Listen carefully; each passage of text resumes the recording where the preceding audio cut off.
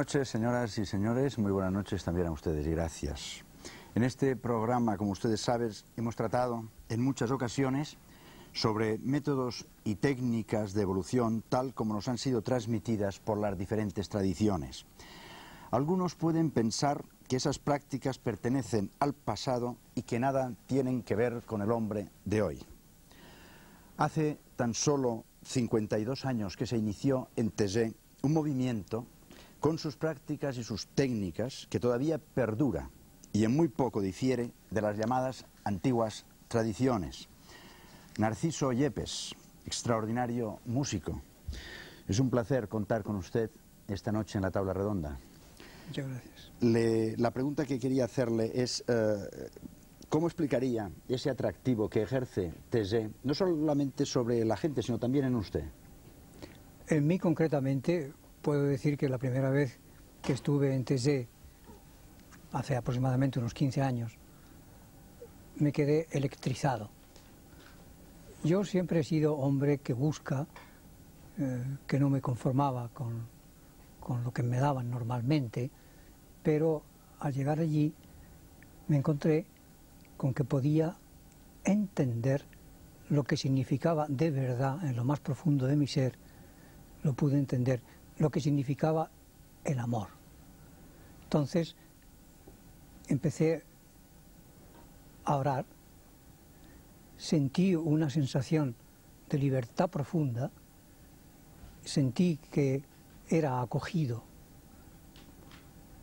sentí que de repente empezaron a cantar todos los que estaban allí, cantando a cuatro voces, y dije, ¿esto qué es? ¿Cómo es posible?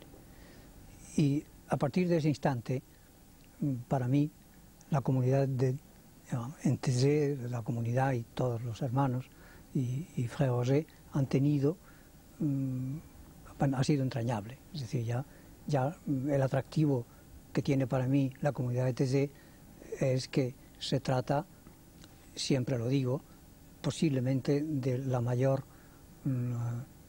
y la más humilde eh, yo, yo diría la- el mayor y el más y el más hu- humilde eh, tesoro que tiene la humanidad. Pues el hermano Emilio, perteneciente a la comunidad de Tezé, está aquí también. Eh, ¿Ustedes esperaban el resultado? No solamente el que ha estado hablando, el, particular, personal y extraordinario resultado que, ha dado en, en Narciso Yepes, sino en, en tantísima juventud y en tantísima gente. ¿Ustedes lo esperaban eso? Ciertamente la historia de Thésée es la historia de un asombro. Los hermanos nos esperaban ciertamente que tantas em, jóvenes llegasen hasta 5.000, 50.000 jóvenes, como recientemente en Viena. Esto ha sido una sorpresa. Al principio, cuando el hermano Roger llegó a Thésée durante la guerra, esperó crear como una parábola de reconciliación. Se decía, si algunos hombres se reúnen para siempre, hombres comprometidos para toda la vida, dispuestos a dar su vida por Jesucristo y por el Evangelio, habrá frutos más tarde, más adelante. Pensaba que tal vez una generación, la primera, no vería frutos, pero las cosas no se han, no se han desarrollado de esta Una, forma. una vez yo dije que, que la- el místico, el primero sorprendido por la mística es el místico. Y a veces estos movimientos se ven sorprendidos por, por los resultados también. Yolanda Pedrajas es fiscal. ¿Por qué fue a Tezé usted por primera vez? Pues la verdad es que yo conocí la comunidad hace aproximadamente unos seis años y la, la conocí por medio de una persona que, mm, que ya la había conocido a su vez en República Dominicana y, y me habló del tema. A mí lo primero que despertó mi interés eh, en relación con la, con la comunidad eh, fue que tuviera un carácter ecuménico. Yo vivo prácticamente al lado de una iglesia evangélica y, y jamás había tenido un contacto, por mínima que fuera, con, este, con esta iglesia. ¿no? Entonces, eso fue lo primero que despertó mi interés y un poco por lo que fui animada por una especie de curiosidad.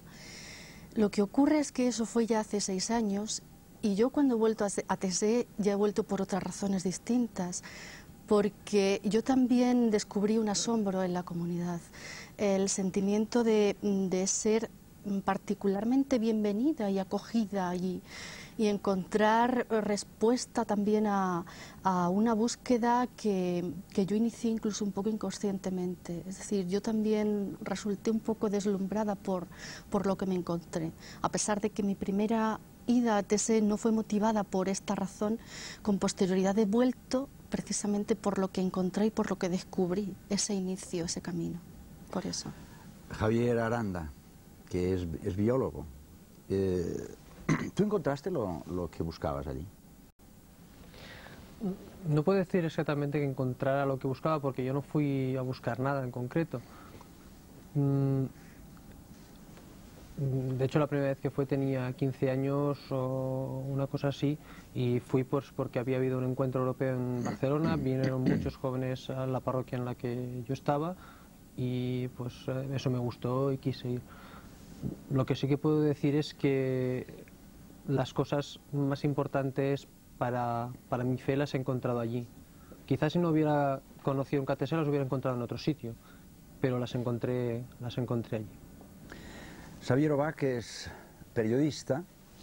Eh, es un movimiento, ¿se puede decir que es, que es un movimiento espiritual, religioso? ¿Cómo lo denominarías? Yo no creo que se pueda definir como movimiento. A mí me gustaría quizá definirlo como marco, ¿verdad?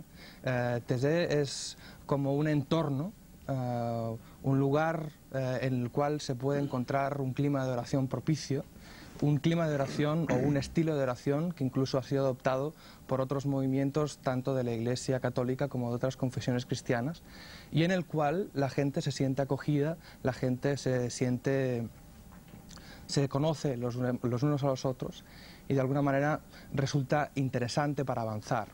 No es un movimiento, y esto desde lo quiere, lo quiere, lo recalca en todos sus documentos y siempre que tiene ocasión para ello, porque no persigue, como quien dice, atar a sus miembros en una determinada dirección, sino que pretende soltarles para que allá donde están, de alguna manera, vivan esa espiritualidad. Tan no es un movimiento y tan eh, poco excluye a los demás que incluso sean casos interesantes, incluso fuera, digo, de eh, las confesiones cristianas. Hace poco en Asís hubo una reunión ecuménica donde no solo participaron confesiones cristianas, también hubo musulmanes, si no tengo mal entendido, y algún judío y alguna representante de los judíos. Y allí, en este, en este encuentro, se cantó durante 40 minutos una canción de Tessé. De manera que algo, algo ha llegado a penetrar de ese espíritu ecuménico que eh, la comunidad quiso eh, difundir allá en los años 40 cuando empezó. Tessé. Así empezó todo. Tessé es un pequeño pueblo de menos de un centenar de habitantes en la región de la Borgoña, en el centro de Francia. Allí llegó en medio de la Segunda Guerra Mundial un joven suizo, el hermano Roger, decidido a instalar en una casa medio abandonada del pueblo una comunidad monástica. Durante la guerra, Roger escondía a judíos y miembros de la resistencia francesa que huían de los alemanes. Después de la guerra, acogió a soldados alemanes odiados a muerte por los franceses. Con gestos como este, no siempre bien entendidos por sus vecinos, Roger quiso dejar claro desde el primer momento el objetivo de su comunidad, fomentar la reconciliación entre los hombres, especialmente entre aquellos que se denominaban cristianos. La comunidad se definió como ecuménica, decidida a ayudar a que católicos y protestantes volvieran a formar una sola iglesia. Su objetivo no fue muy bien entendido por Roma durante los primeros años, pero contó con el apoyo entusiasta de Juan XXIII. Tessé participó activamente en los trabajos del Concilio Ecuménico Vaticano II. La comunidad crecía y hacia finales de los 50 comenzó a observar cómo algunos jóvenes se acercaban a su casa para compartir la oración. La acogida de estos jóvenes amenazaba con distraer el ritmo de la comunidad, por lo que en un primer momento fueron recibidos con reservas. En 1962, los monjes construyeron una nueva iglesia de más de 30 metros de largo, pero el día de la inauguración ya se había quedado pequeño. Poco después, la comunidad tuvo que derribar la pared posterior para añadir carpas de circo donde cobijar a los jóvenes convertidos, contra pronóstico, en una auténtica multitud. Si sorprendente fue la velocidad con que Tessé se puso de moda en los 60, más sorprendente es todavía que 30 años después la moda no haya pasado. Durante todo el verano y durante la Semana Santa, entre 5 y 8 mil jóvenes procedentes de los lugares más distantes de Europa toman la colina. Durante el día, escuchan las charlas de introducción a la Biblia de los hermanos y hablan sobre sus experiencias personales en grupos de intercambio. La acogida de los jóvenes constituye un auténtico reto para la logística de la comunidad. El alojamiento se realiza en grandes tiendas de campaña o en barracones no menos provisionales. La comida, siempre frugal, se distribuye tres veces al día. Cada persona paga por su alojamiento en función de la renta de su país. Cada día de estancia les cuesta a los alemanes entre 800 y 3.000 pesetas, según tengan más o menos posibilidades. A los españoles entre 600 y 2.000 y a los rumanos 100 pesetas diarias. La comunidad insiste en que nadie debe quedarse sin alojamiento aunque no pueda pagar nada. El centro de la vida en Tesé es la oración, que tiene lugar junto a los 90 monjes que viven en la comunidad tres veces al día. Durante los últimos años, varios hermanos de Tesé se han instalado en barrios pobres de países del tercer mundo o de ciudades industrializadas con el objetivo de dar testimonio del Evangelio allí donde la gente sufre más. Cada año, durante las vacaciones de Navidad, Tesé organiza un encuentro de jóvenes en una ciudad europea. La concentración de Viena, realizada hace dos meses, batió todos los récords de participación. Más de 100.000 jóvenes se dieron cita en la capital austríaca para participar en una semana de oración y diálogo. Para reunir a esta multitud fue necesario alquilar ocho módulos de la Feria de Exposiciones de Viena. Tesé reconoce que tras el último encuentro arrastra un déficit económico muy importante. Desde sus inicios, la comunidad rechaza todo tipo de donaciones y sobrevive gracias a la venta de artículos de artesanía y de sus publicaciones. Y con frecuencia son económicamente deficitarios. Eh, eh, hermano Emilio, ¿por qué no ahorran ustedes un poco o prefieren estar siempre esperando eh, o confiando? De hecho, calculamos con mucho cuidado nuestros gastos, pero a veces hay que correr riesgos y conscientemente hemos, cogimos, corrimos este riesgo en Viena. Pensamos van a venir cientos de miles de jóvenes, pero después podremos hacer un llamamiento y esto podrá eh, cubrir este déficit. Y esto es lo que ha ocurrido. Otra idea de base de, de en el origen, con la que el hermano José llegó en los años 40, era crear dentro de la sencillez, no acumular medios materiales, sino hacerlo todo con barracas, con tiendas, no aceptar eh, dones, vivir del trabajo, incluso rehusar herencias de familia, porque en la, sim, en la, en la como las flores del campo hay muchísima más los gratuidad. del aire, Xavier Obac. Eh, ¿Por qué se mantiene durante tanto tiempo?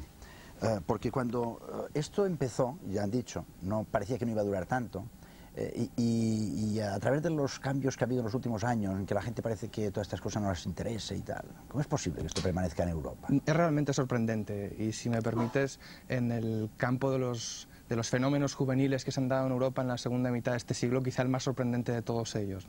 Eh, para empezar, es sorprendente eh, el hecho de que algo que llamó la atención de eh, una generación vuelva a llamar la, la generación siguiente, en un momento en el que hay tantos cambios de unas edades a otras, se han producido.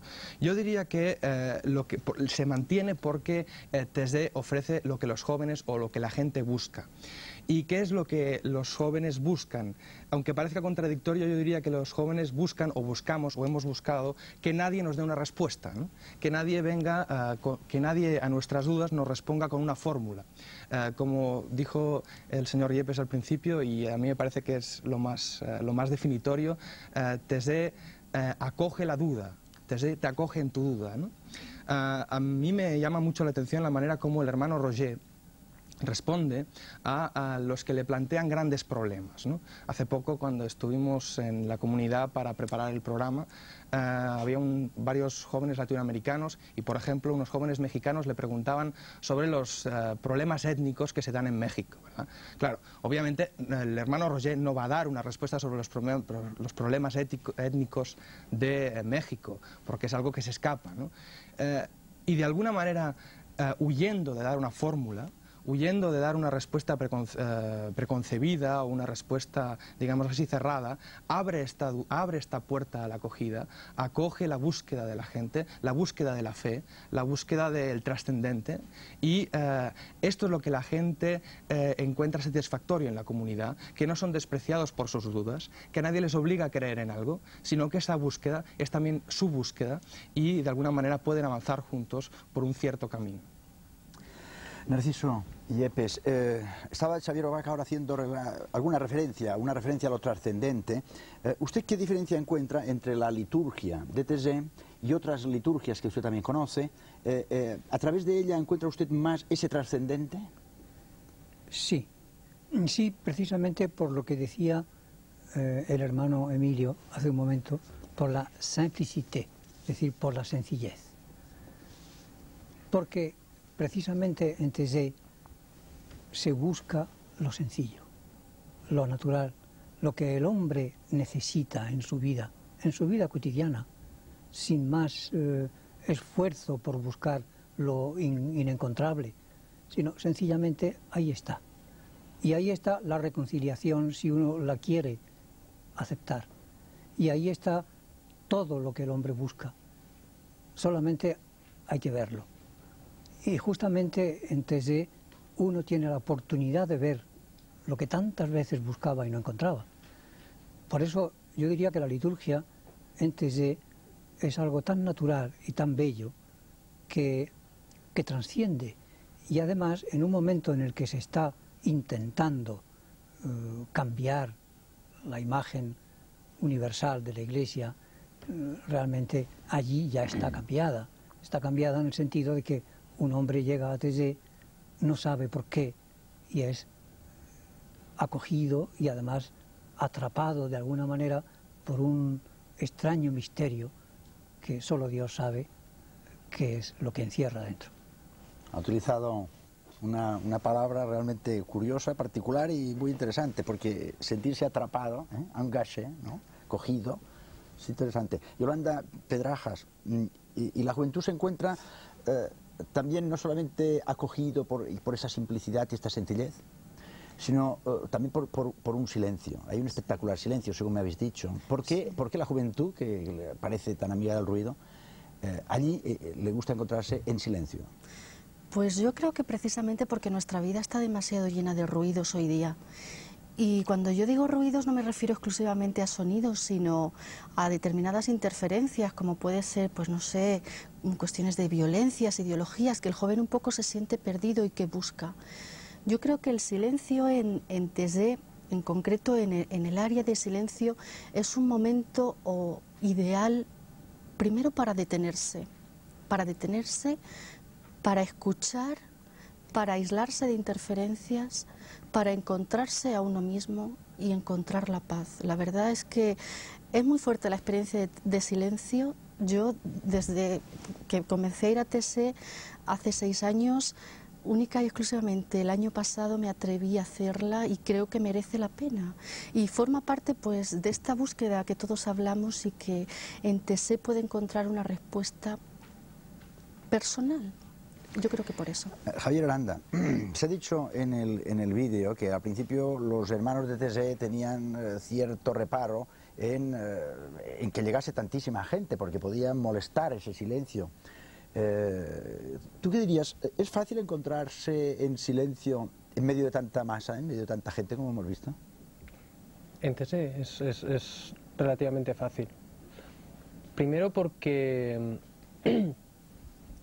porque uno ya se acostumbra, un poco ha salido en el vídeo que lo que marca el ritmo de la, de la vida en TSE es la oración, tres veces al día, de toda la gente que está allí con la comunidad.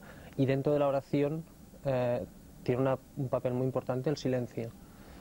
Y una vez que uno se acostumbra, se acostumbra a eso, a partir, a partir de esos momentos ya no le extraña. Es decir, cuando uno ve 15.000 personas en una 15.000 personas estoy exagerando allí 4.000 eh, personas en, una iglesia juntos en silencio apretados como se ha visto ya no le extraña nada y luego porque bueno también eh, el sitio ayuda entonces es un pueblo pequeño en medio del, del, campo francés y en cuanto uno se aparta dos pasos hacia cualquier lado, pues está todo lo solo que se puede estar en el campo. Así que no es, no es nada difícil. A lo largo de, los programas, nosotros a veces te hablamos siempre de, las mismas, de, los mismos métodos, técnicas, estamos hablando en el fondo, en el fondo, de lo mismo que hoy, eh, de lo mismo que estamos tratando hoy, solo que hoy lo hacemos con esa simplicidad eh, que nos llega eh, como, uno, como un olor, como una flor de, desde TIG, pero que es siempre lo mismo, casi es un resumen de, todo, de, todo, de otros programas. TG, un oasis en medio del multitudinario desierto de Europa. Desde fuera, la iglesia de Tesé tiene cierto aire de nave industrial, pero la ambientación interior la convierte en un lugar idóneo para el silencio y el recogimiento personal. La luz en el interior es muy tenue. Solo en raras ocasiones se ha permitido a los focos de la televisión romper este equilibrio. Estas imágenes corresponden a la celebración de la Pascua del año pasado. Los asistentes en las oraciones de Tesé se sientan en el suelo. El altar está iluminado con velas y decorado con telas naranjas que recuerdan el color de los hábitos budistas. En los laterales hay varios iconos de inspiración bizantina. La oración de Tesé es una recreación muy simplificada de la liturgia monástica. Los cantos son repeticiones sucesivas de una misma frase a varias voces, algo así como un mantra polifónico.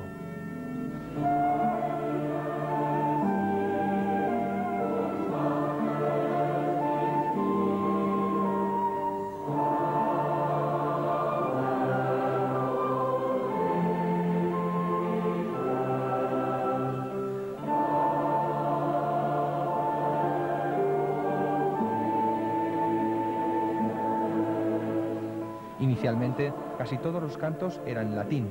En los últimos años se han ido añadiendo frases en idiomas contemporáneos, entre los que se encuentran el inglés, el castellano, el catalán o el ruso.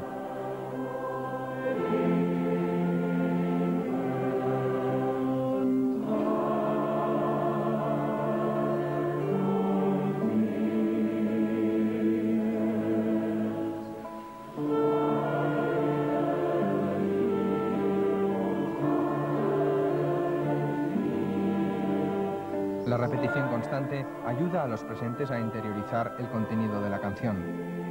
Las letras están tomadas del Evangelio o textos de personas destacadas en la historia de la literatura religiosa, como Teresa de Ávila o San Juan de la Cruz. El hermano Roger reza acompañado de niños en los que busca ejemplificar la sencillez de la oración.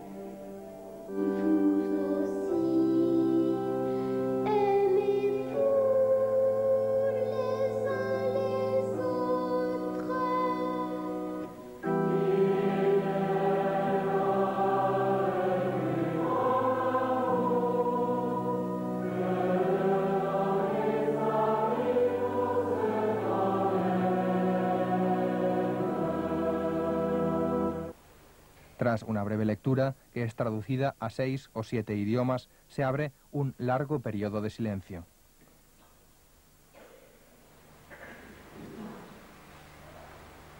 El silencio es quizá lo más característico de la oración de Tesé.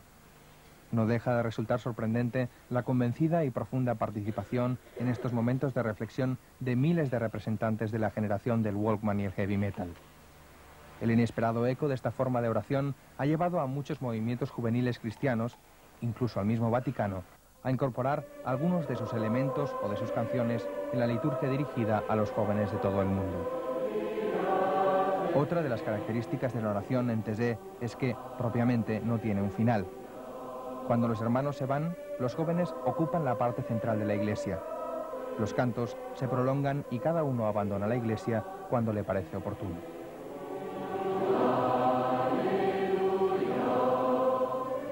Tiene, tiene truco esto, ¿eh? Emilio, hermano Emilio. La liturgia que ustedes allí ejecutan, ¿qué truco tiene? Verdaderamente creo que Thésée no ha inventado nada. Creo que el reportaje lo ha mostrado, que se trata de eh, encontrar en tesoros de fe que existen en la Iglesia desde hace tiempo, pero que no son conocidos. Yo mismo soy católico, reconozco en las en los rezos, en las oraciones, la gran tradición católica, la, la, la, oración repetitiva existe desde hace siglos, o el silencio que tampoco hemos inventado, o estar sentados en el suelo, esto existe en tradiciones monásticas desde hace muchos siglos.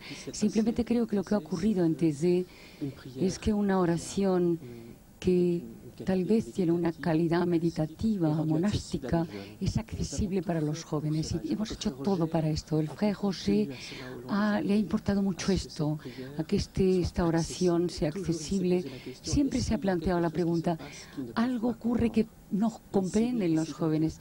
Y si intentásemos hacerlo más accesible, creo que en cada ser humano, en cada ser humano ya existe una oración, pero esta oración muchas veces tiene dificultades en formularse y tal vez la gente, el silencio, el silencio vivido en común, ayuda a esta oración a exteriorizarse y a ser personal para cada uno. El canto, el silencio, Xavier tú como corresponsal de, de temas religiosos, como periodista, ¿qué otras características resaltarías de Thésée, aparte de esa oración y aparte de, de, del silencio? Bueno, mmm, como parte del fenómeno, ¿no? Pues uh, yo diría que es muy importante también la convivencia entre la gente. Es decir, uh, vaya, las juergas, quiero decir, o el ambiente de fiesta, por decirlo de una manera más fina, ¿no? que hay también entre, entre la gente joven que asiste, además es propio de la edad, pues es algo inolvidable ¿no? para los que lo hemos vivido sea en, en, encuentros internacionales o sea en el, en el mismo TSE. ¿no? A partir de cierta hora los monjes insisten en que se debe hacer silencio, ¿verdad? Y eso se acostumbra a respetar o se respeta la, la, casi todas las ocasiones, ¿verdad? Uh, pero aparte de esta convivencia, de este encontrarse con otros países, yo insistiría mucho en el aspecto de la acogida. En un momento en el que, el que nos encontramos ahora, en, el, en, la, en esta coyuntura de la Iglesia Católica, Uh, desde mi punto de vista, en mi opinión, yo diría que Tesde es uno de los pocos baluartes que quedan de las ventanas abiertas o de las ventanas que abrió el Concilio Vaticano II. Y de hecho uh, no es sorprendente que uh, Frère Roger sea un gran admirador de Juan XXIII y que Juan XXIII fuera un gran amigo también de Roger. En ese sentido, eh, creo que es muy importante eh, destacar esta apertura a la búsqueda que ya ha salido también en este programa en otras ocasiones. Eh, a mí me gustaría un poco para ejemplificar este, este sentido, esta ventana abierta, recordar una frase que a mí me ha impresionado mucho del hermano Roger, eh, cuando se le habla de la duda o de ciertos pasajes de la vida de Jesucristo que no se entienden, etcétera, etcétera. Roger responde, eh, practica lo poco que hayas entendido. De alguna manera acepta esa poca fe que tú dices que tienes, que quizá es mucha, ¿no? Roger, la comunidad la aceptan, ellos te invitan a aceptarla como tal y te invitan a desde ya a ponerte a trabajar. Esta pluralidad es para mí eh, una de las claves que eh, justifica o que de alguna manera da explicación a este fenómeno tan significativo de nuestro tiempo. Esto, Javier Aranda, aparte de ese practica lo poco que hayas entendido, eh, nosotros a veces hablamos aquí de planos o grados de conciencia. Con estas técnicas, con o sin truco, pero con esas técnicas, ¿se puede eh, pasar de un plano de conciencia a otro plano de conciencia? Mm, a ver, yo creo que, que sí, que sí. Eh, yo no sé si exactamente es fruto de la técnica o, de qué, pero como resultado de, de haber pasado uh, por Tesé, yo creo que se ven las cosas de otra manera. Incluso si no te gusta y no te convence lo que ves allí, hay, se puede ver las cosas desde otro punto de vista. Eh, allí ves pues eso, que las cosas se pueden hacer de una manera mucho más sencilla de lo que las hacemos normalmente. Eh, se da uno con, cuenta de sí mismo, simplemente, ya he dicho antes que mi experiencia personal fue allí encontrar cosas muy importantes para, para mi fe. Simplemente este hecho hace que veas eh, las cosas de otra manera. Y no sé si eso es un plano superior, inferior o diferente de conciencia, pero sí que es, acabas viendo las cosas de otra manera. Esto, yo, eh, siguiendo el tema, Yolanda Pedrajas, ¿no? Eh, a veces eh, la gente sospecha que cuando uno se dedica a la vida interior o a la oración intensa o a la meditación o la contemplación, eh, parece que es como si se aislase de todo el mundo. ¿El resultado de la oración es este aislamiento? ¿Aleja de la gente o no? No, en absoluto. Yo creo que si hay algo claro en la comunidad es que la vida interior y las solidaridades humanas están muy ligadas y que precisamente lo segundo es consecuencia de lo primero. Entonces, en TSE existe la oración, la contemplación, meditación, etcétera, pero también existe la posibilidad, porque los hermanos se preocupan de ello, de que haya personas que puedan dar un testimonio de la realidad difícil que viven en su país y se preocupan porque los jóvenes europeos que vivimos una realidad distinta o más cómoda, tomemos también conciencia de ello y sobre todo también que seamos capaces de nuestro ambiente propio intentar también un poco transformar de acuerdo con lo poco que nosotros hemos entendido del Evangelio o hemos experimentado en la colina. O sea que todo tiene una raíz de vida interior. Una experiencia de vida interior complica la vida y además la complica en la vida de los demás. Te hace partícipes de sus problemas y de sus sufrimientos y en absoluto aísla o aleja.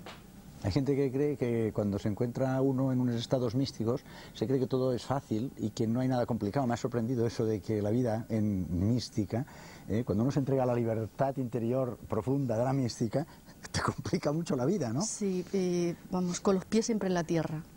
Sí, pero, pero... Muy elevado todo, pero, pero atento a las realidades. Es que el mundo interior es más complicado de lo que la gente cree. Eh, y aprovechando que está Narciso Yepes esta noche, y puesto que en las liturgias se utiliza siempre la música, y en Tesé también, por supuesto, eh, yo sí que le quiero preguntar, ¿la música es una mecánica de transformación? ¿Se puede utilizar como mecánica de transformación espiritual? Ah, sin duda alguna. La música ha transformado tantos seres humanos que indudablemente eh, se puede asegurar que, sirve para transformar el sentido espiritual de un ser humano. En Tese, además, es que han encontrado, por esa, búsqueda tan constante de, esa música, esos mantras polifónicos que sirven para una oración que no tiene tiempo en cuanto, en cuanto a, lo que, a lo que va a durar no importa cuánto tiempo va a durar. Esos solistas que van cantando eh, en, cualquiera, en cualquier idioma, cantan en tantos idiomas, y esa, esa sensación de, sentirse uno eh, introducido en el mundo polifónico y en el mundo espiritual a la vez, sentirse cantar a cuatro voces, sentir que tres mil o cinco mil personas están cantando a cuatro voces, ¿Cómo es posible? Y yo creo que eso es una técnica, porque la música está hecha con una técnica que eso puede ser, eso puede ser posible. Yo recuerdo la impresión que me hizo cuando me dijeron entonces que todo esto eh, se podía hacer gracias al petit cœur. El petit cœur, sí, el pequeño coro, ¿sí? ¿Y cuántos son en el petit cœur? Ah, bueno, son unos 300. O sea, el pequeño coro eran 300, ¿no? el gran coro éramos todos los que estábamos allí. Y realmente que eso sirve para orar es absolutamente indudable. Y la prueba evidente es que esa música de Tezé se canta en todo el mundo, por gentes que no han estado jamás en Tezé. Algo ha pasado, algo les ha penetrado, que necesitan esa música para orar. Y ahora voy a insistir en, una, en un tema, porque usted ha pronunciado, además de hablar eh, tan bellamente de las polifonías, eh, ha dicho también un mantra. Nosotros en la cabecera empezamos con, con el mantra de siempre, el OM, la OM, ¿verdad? que es como en el principio existía el, el, verbo, pero también podía ser en otras tradiciones, en el principio existía el sonido, el OM que por cierto el gregoriano, el gregoriano tenía mucho de um, repetía e, ese final, e, iba repitiendo una sílaba con la M, ¿no? Mm, este sentido de, del om. ¿Qué tiene, qué, tiene de espiritual esa sílaba? ¿Qué tiene de espiritual ese, ese sentido de, mm, de repetición como casi de aire? Es porque yo diría que el, sonido nasal nos penetra mucho más en el, eh, desde el cerebro hasta el corazón. Es decir, hasta, es como una como un canal energético abierto.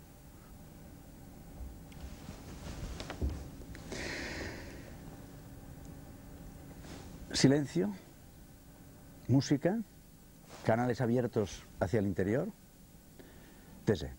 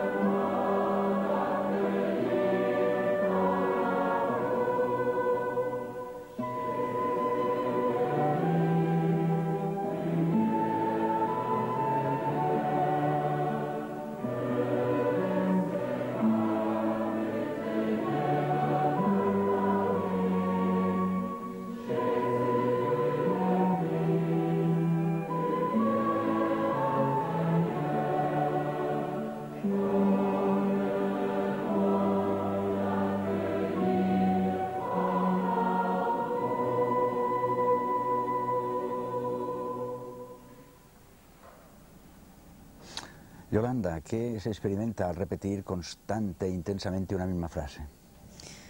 Pues para, para empezar, hasta como técnica de relajación es muy positiva, ¿no? Pero cuando uno consigue realmente concentrarse, la verdad es que se queda como, como absorto y, y logra hasta abstraerse. En TSE es fundamental porque además sirve como preparación para el silencio. O sea, esta especie de concentración desemboca luego en ese silencio absoluto. Yo mm, he oído a mucha gente, y yo también lo comparto, hay un lugar en la Iglesia de la Reconciliación que yo creo que es ideal para la oración para colocarse, que es donde se sienta el hermano Roger, pero porque tiene a los niños alrededor. A los niños en la oración es muy, muy complicado que se estén absolutamente quietos y callados. Sin embargo, cuando uno repite la frase y logra realmente abstraerlo, abstraerse, perdón, hasta el ruido de los niños, ayuda. Yo quiero recordar a la altura de, de este coloquio, de, esta tabla redonda, que está Narciso Yepes con nosotros, el gran músico, eh, el hermano Emilio de Tesé, un periodista, Sagerovac, una fiscal, Yolanda, la que ustedes acaban de escuchar ahora, y un biólogo, que me interesa mucho que esté el biólogo, por una frase que ha dicho antes Narciso Yepe. Cuando le preguntaron lo del mantra y lo del esto, dice, es que es un canal abierto entre el cerebro y el corazón. Parece que esté como más abierto, ¿verdad? Para que haya una comunicación mayor, como camino de transformación. Eh, ¿Tú has notado alguna contradicción entre, entre tu experiencia espiritual y tu experiencia o tus conocimientos como biólogo? Mm, de hecho, no. Mm, si acaso me puedo referir a aquello que decía antes de los planos de conciencia o algo así, eh, lo que sí que ha hecho es que mm, me mire mi experiencia como biólogo, eh, quizá interrogándole más sobre algunos puntos, y mi experiencia como biólogo quizá me ha hecho fijarme más en algunos aspectos que, en otros, pero no he encontrado, no he encontrado contradicción. De hecho, lo, un poco lo que a mí me ha sorprendido mientras estudiaba la, la carrera, me he emocionado a veces en clase eh, al comprender la maravilla de la estructura de cómo estamos hechos o de cómo funcionan eh, cosas que parecen sencillas y, lo complicadas que llegan a ser y supongo que, en ese maravillarme algo habrá algo habrá influido pero a mí lo que me luego reflexionando sobre eso lo que me, sorprendía es que esas mismas cosas que a mí me hacían emocionarme eran las que eh, otra gente en, libros había había puesto como excusa para para un poco cuestionar eh, la fe o cuestionar temas espirituales en general, decía, ¿no? Como la maravilla de la complejidad de la naturaleza eh, aparta cualquier referencia espiritual y una cosa... Y a mí, yo no sé decir tampoco por qué, pero a mí me pasaba exactamente lo contrario.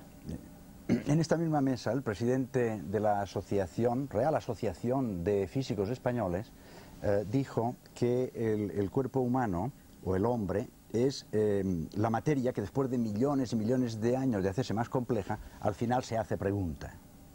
Pues eh, rememorando esta frase podría decirte que a lo mejor el ser humano, el hombre, después de millones de años, al, llegar a ser esa persona tan compleja, biológicamente hablando, como tú estabas diciendo, al final se hace oración y silencio.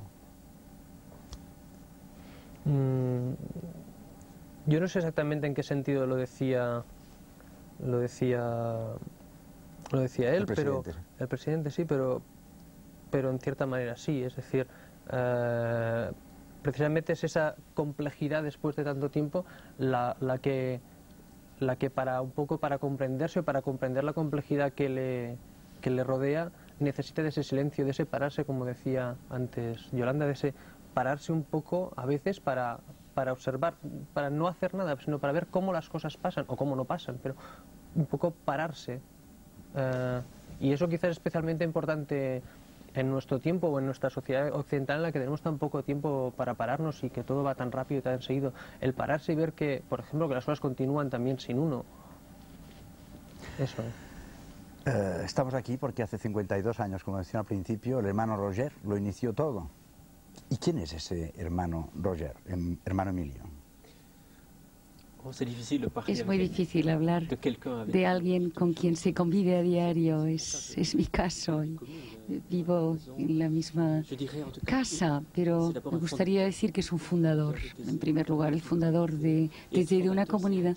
Y ser un fundador es ser alguien que ha corrido riesgos y esto es el, el José, alguien que ha aceptado asumir riesgos al principio de la guerra y luego con jóvenes, porque al abrir la puerta a jóvenes es también correr riesgos para crear en la iglesia, porque creo que también él tiene una pasión de la iglesia, que la iglesia es un rostro de belleza.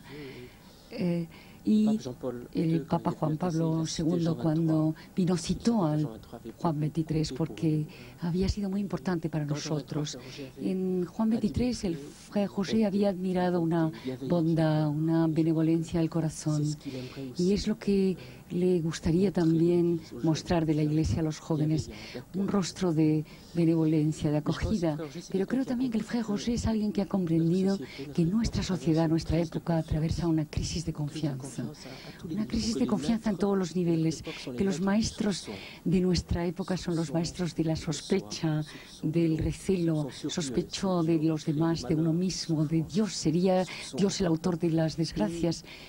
Eh, y ha querido crear con su vida un lugar donde se pudiera volver a tener confianza en Dios, en sí mismo, eh, y crear lazos de confianza y de amistad entre pueblos y en la Narciso iglesia. Yepes, Narciso Yepes conoce también al hermano Roger. ¿Cómo nos explicaría usted su- eh, eh, la manera de ser de este personaje? Cuando estuvo el, el Papa mm, Juan Pablo II en Thésée, como decía antes el hermano Emilio, una de las cosas que dijo fue, sois la primavera de la Iglesia. Efectivamente, yo mm, soy un, gran seguidor de la primavera, creo que es un momento muy hermoso de- de- nuestra vida. Y yo diría que el hermano José es un ser que cuando uno está al lado suyo tiene muchas ganas de cerrar los ojos y acordarse de aquella frase de Cristo, de decir, seguidme, dejarlo todo y seguidme. Uno tiene muchas ganas de seguirlo, de seguirle donde quiera y como quiera. Si ustedes le quieren escuchar, permanezcan unos instantes con nosotros. El hermano Roger. ¿Qué esto ha podido, ¿Qué es lo que ha podido significar? Sentir en la oración. ¿Qué es lo que eso puede significar? Alguien se dice a sí mismo, pero yo nunca oro. No sé orar. Oh no, en ti está el deseo, el muy humilde deseo de amar, de amar a Dios, y que ello te baste, porque este es el comienzo de la fe, el comienzo de toda la vida cristiana, de toda una vida de comunión. De de, de toute la vie chrétienne, de toute une vie de communion. Il arrivera que quelquefois tu éprouves quelque chose. C'est bien. Ocurrirá que a veces experimentes algo. Está bien, como el sentimiento de una presencia. Pero si ese sentimiento no ocurre, no hay por qué inquietarse. A menudo me digo a mí la duda es una realidad, a veces penosa, claro. Pero la duda no es generalmente lo que pensamos. Et tout autre que ce que nous pensons. Nous nous faisons une idée, une image de ce que cela peut être. Nos hacemos una En idea, définitive, una imagen de lo que eso puede le ser. doute peut coexister Pero en definitiva, avec la, la foi. duda puede C'est la parole que coexistir Christ con la fe. Es la palabra que Cristo oye de un hombre que le hace una en, en pregunta y que dice, yo creo, Señor, tengo confianza en ti, el Cristo, tengo fe. Y luego continúa y dice, pero ven en ayuda de mi incredulidad, de la que no tenemos nada que temer, porque nos estimula, porque nos hace decir a Cristo. ¿Qué esperas de mí? ¿Y por qué esa impresión a veces de un vacío total?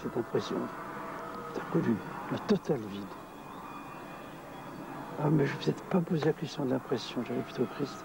Ah, Non, les pero no me haría esta pregunta sobre la impresión. Quería más bien, No. las impresiones nos hacen una mala jugada por todo lo que concierne la confianza de la fe. Concédeme más bien esperar, apacible, y comprenderé. Nunca comprenderemos en la agitación gran cosa, pero mucho en la paz de corazón. Me escribí esas palabras recientemente. La paix du cœur est aussi une petite joie, mais la paix du cœur La paz est de peut-être une des corazón. réalités y también una pequeña alegría. Pero también la paz de corazón es quizá una de las realidades más esenciales, uno de los bienes más preciosos que se les dan a un ser humano. Y añadí, l'inquiétude, même, oh, la inquietud, la angustia, nos conducen a nieblas que nos hacen perder de vista lo más Nous esencial. perdons de vue, nous perdons de vue le plus essentiel. la humilde confianza de la fe, la humilde confianza en Dios, la humilde confianza en lo que Dios nos confía. Y mientras permanecen como un eco las palabras del hermano Roger, si uno va imaginándose que va abriendo los periódicos, va escuchando las noticias de las diferentes televisiones, o se va enterando por la radio de lo que está ocurriendo, realmente el contraste es eh, abru- abrumador, tremendo, es abismal. ¿Cómo se puede unir, cómo se puede pegar esto en el mundo en que, estamos viviendo? Se lo pregunto al periodista Xavier. Bueno, para mí la, la unión es evidente. Eh, si, si analizamos un poco con perspectiva el momento que estamos viviendo, ¿verdad? desde mi punto de vista, eh, cuando nuestros nietos se pregunten eh, cómo era la generación de nuestros abuelos, o sea, la nuestra, yo, yo creo que eh, si algo la va a definir estos momentos, este final del siglo XX que estamos viviendo, es la tremenda diferencia o las grandes diferencias económicas, sociales, en tantos campos entre mucha gente en el mundo. ¿Verdad? Ah, la gran diferencia, los grandes, las grandes injusticias económicas y sociales que se producen con respecto al tercer mundo, esa gran mayoría del planeta que lo está pasando realmente muy mal, a límites que nunca había llegado en la historia de la humanidad, y este pequeño porción del planeta que somos nosotros que lo estamos pasando como nunca, y a pesar de que ahora pues estamos hablando tanto de, de los problemas que nos afectan con respecto a la crisis, a pesar de eso, pues seguimos estando pues en la cresta de la ola y eh, disfrutando de un nivel de vida que nunca habíamos tenido. Pues en ese contexto de grandes diferencias, el mensaje de TSE o la llamada de TSE es una, es una llamada, ah, digamos aquí, así que clarividente, ¿verdad? Porque eh, nos interpela, nos llama a que nos reconciliemos entre nosotros. Es evidente que no habrá una solución para los grandes problemas de este planeta, que son, desde mi punto de vista, estos que he dicho, las grandes diferencias, mientras no nos reconciliemos y no tengamos una actitud distinta hacia eh, esta gran mayoría de la población que lo está pasando mal. Eh, Estamos viviendo el otoño del mundo. A usted le gusta la primavera. ¿Cómo presiente usted que podría haber primavera de nuevo en este enfermo mundo?